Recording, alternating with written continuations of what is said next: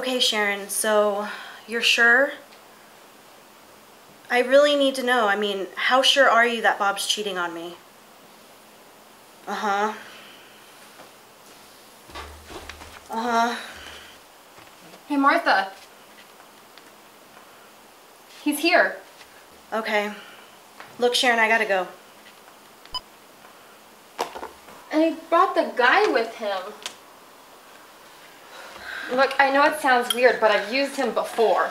I mean, Martha, don't judge me. When I found out Daryl was cheating on me, and then I found all those pictures of those naked women in his email. wait, other women? Yes, other women, there were many. How many? Smells like beans and tortillas in here. and then you whack him. I love it. Last words. Beans and tortillas. Pop! I found five, but I know for sure there's one more. And that makes six. So you did it? Yeah. And this is the guy you used to take him out. Yep. Remember one time I was doing a job down in Sicily, and they're like, "Damn, this is silly G." Freaking A, where's she at? Maybe she, I've got things to do, you know. maybe she's getting her hair did again. You know, she you know, girls like to do that crap. Hey, how are you? Ah, Tanya, I thought you might not be home or something. Well, it takes me a while to get to the door. Yeah, you know, I was thinking to myself, I'm pretty sure we made this appointment. I'm thinking to myself, Tanya would not forget we made an appointment. And I'm thinking to myself, yeah, you know, uh, there's something fishy going on here. Well, it's great to see you too. Come on in. Yeah, yeah, of course. I mean, what are we gonna do? Sit out here and you know, pull on our cocks here or something? Like, of course, of course. Let's come inside.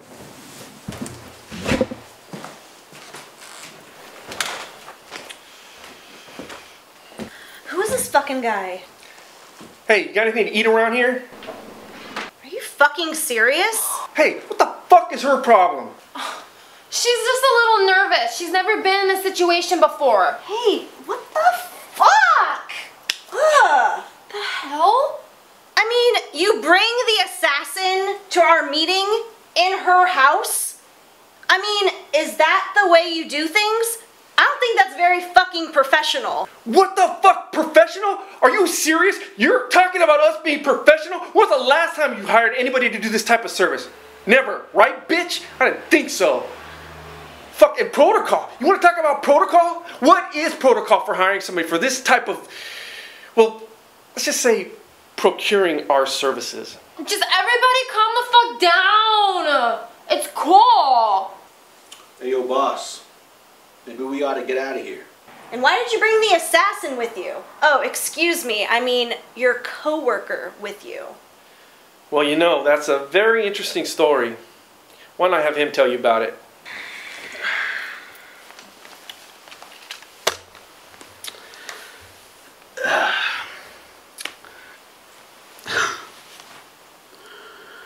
You see, it's like this. I've been doing this for a very long time. And well, you see, I need motivation. Motivation. Yes, motivation, you know, so Whoa. I I need to know why it is that you need this guy. I mean, I'm sorry, this target eliminated. Yeah, so we were together for like two months. I mean, I really thought that he loved me. I mean, that's the longest relationship I've ever been in. I mean, he used to bring me flowers. Um, he would sing to me. I, I just, I don't, I don't get it. I just don't get it. And now he's with God knows how many other people. I mean, why would anybody cheat on me?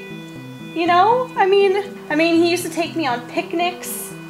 You know, he would bring the the blanket. He'd bring fried chicken, um, wine, my favorite kind of cheese. I mean, You trusted him too. I know. I told him everything. I mean, he knows what parts of my body I shave. He's even helped me. Two months. Two months of my life. Right? I mean, the fuck? What the fuck? And there was this one time that he took me to the far- the carnival, and it was like the best day of my life. Like, I mean, he paid for everything. He won me two stuffed animals. I mean, do you remember that? It was just, Yeah. I mean, I've never had anybody like that before. I mean, I just don't understand how somebody could be with you for two whole months and just be like, I'm gonna. liar. But there's witnesses. I mean, he doesn't deserve to live. He No, doesn't deserve he to live. to I mean, He needs to die. yeah, he needs to die. I mean, I I love those cat Yeah. pictures. I mean, I would do it myself if I could, but You don't want to get in trouble. I know I'm really glad that you're here. I really am. I'm happy. Thank you so much. Really, this is just this has been a really amazing experience. I'm glad that we've had this meeting. I really am. And now it's time for him to die.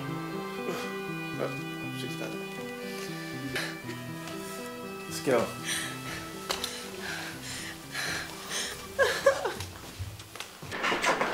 All right, man. Let's handle this little problem with theirs. Get it?